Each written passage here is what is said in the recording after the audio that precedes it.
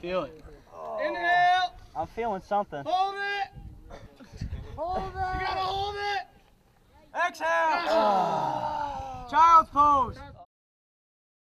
He'll start running up. You're going to circle behind. Turn around. He's going to hand it off to you. So it's going to be like The 35 game losing streak, it was an, it, it was really embarrassing for us.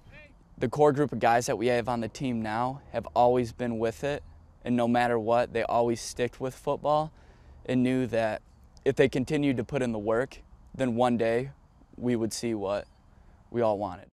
we still gave it our all. It was practice. Um, people kept telling us that like we have no heart. Maybe you know this ain't the right sport for us, but when you think about it, we lost 35 games in a row, and we're still out here practicing every day. There's something there that's driving us to win. You know, uh, we went through a winless season last year with Pringle, but it takes them a year. You know, it's going to take time. Uh, Rome wasn't built in one day, kind of saying. Hustle back. Let's go. Let's run. Coach lined up this whole summer on just beating Corunna.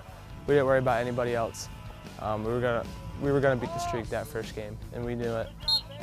Before the first kick return, because we got the ball first, he was like, you know, we're gonna take this one back right here. First play of the game, we're gonna score a touchdown, and they kicked it right to me, and I took it 80 yards back for the first touchdown of the game.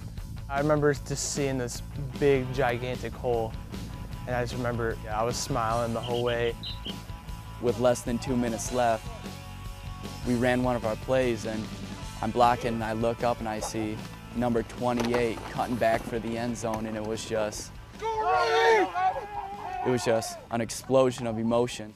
It was, it was a zoo. It was pandemonium. You know, they say act like you've been there before, but uh, quite honestly, our kids, uh, that was a brand new deal. Week two, we were still just so beside ourselves that we finally won a game and it was hard to come back down to earth and focus up for Holly, which we knew was going to be a tough matchup. We ended up losing. The kids themselves were the ones that came in and said, hey, listen, coach, we didn't hold that line. You know, the kids understood the difference between the week we'd had previous and the week after that. And Hey, we need to tighten up. The- It is ridiculous not knowing our stuff out here. We've been doing this for five, six months now. Okay. that effort is stupid. Irritating me. Hey, so we bad. start out to practice really well, and then once we get tired, we go downhill. Sure. Hey, we are not going to do this tomorrow night. We're going to salvage this. We got to finish with defense. We got to finish Corner strong. game's over. Let's go.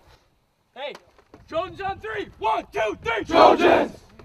after the Holly loss, it was kind of a it was kind of like a wake up call. Like, you know, we can't coast off one win. You can't stop working. Every single day you get into the weight room, every single day you get onto the practice field, you have to better yourself and better your teammates, or else you're just gonna fall behind and have another losing streak.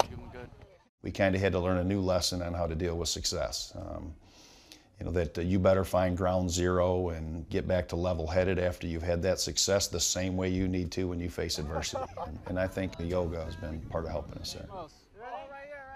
I remember when we first started, everyone was laughing because they all thought it was so stupid.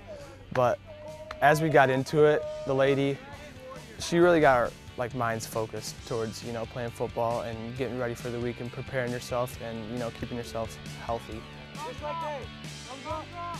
Just a simple thing as breathing. Um, you know, so much of getting your breath under control um, helps to center you and get you back where you need to be.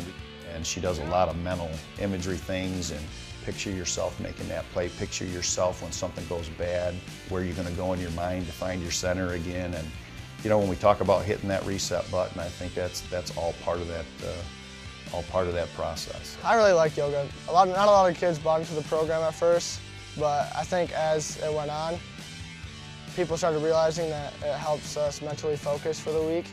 After, you just feel like a whole different person. Mentally strong, physically strong, your body feels amazing.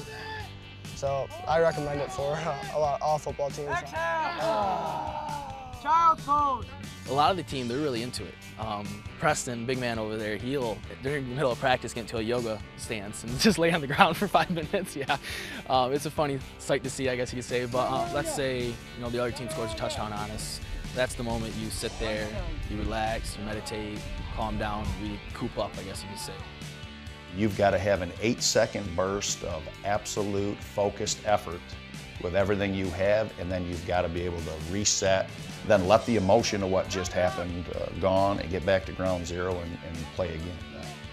That's what we're trying to emphasize with kids is a mental toughness, a physical toughness that, uh, you know, no matter what's thrown at you, man, uh, all you control is how you respond and rise above it.